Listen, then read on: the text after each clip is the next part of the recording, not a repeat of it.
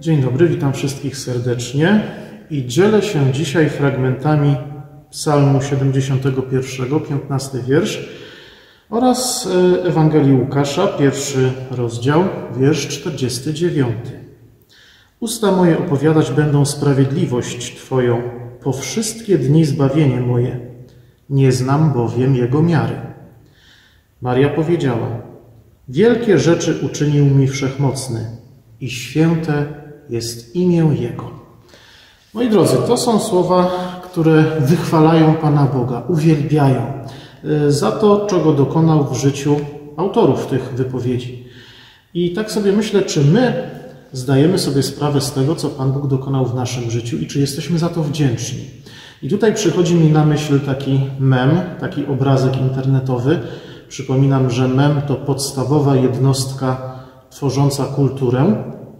E, I na tym obrazku, na tym memie e, jest pokazany człowiek, który siedzi za kierownicą samochodu, prowadzi, pewnie dojeżdża do pracy, a na rowerze obok e, stoi i czeka na światłach drugi człowiek i tak sobie myśli, świetnie byłoby mieć samochód. Temu wszystkiemu przygląda się człowiek stojący na przystanku i oczekujący na przyjazd autobusu i on myśli sobie, świetnie byłoby mieć chociaż rower.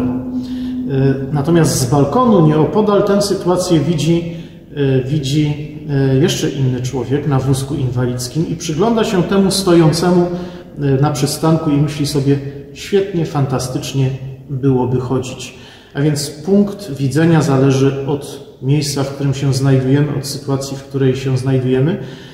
I ten obrazek uczy dziękowania za te proste, zwykłe rzeczy za to, że się poruszamy, za to, że chodzimy, za to, że jesteśmy zdrowi, za to, że możemy pracować, funkcjonować.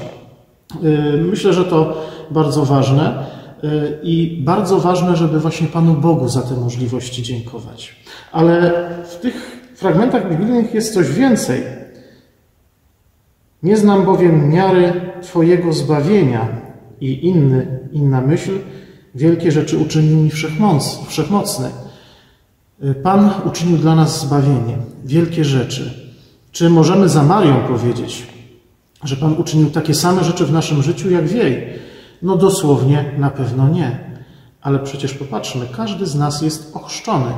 Każdy z nas otrzymał zaproszenie do Bożego Królestwa. Każdy z nas jest Bożą własnością, Bożym dzieckiem. To są wielkie rzeczy. Wielkie zbawienie, które Pan Bóg dla nas uczynił i Jego miłosierdzie, miłość nie ma miary nie ma granic. Czy my zdajemy sobie sprawę każdego dnia z tego, że możemy chodzić, funkcjonować, żyć? I czy za to dziękujemy? I więcej, czy dziękujemy za to, że jesteśmy ochrzczeni, za to, że jesteśmy Bożymi dziećmi, za to, że Pan Bóg wielkie rzeczy uczynił dla mnie i dla Ciebie w śmierci na krzyżu, w zmartwychwstaniu i we swoim w niebo wstąpieniu. Bądźmy za to wdzięczni, nie tylko dzisiaj. Amen.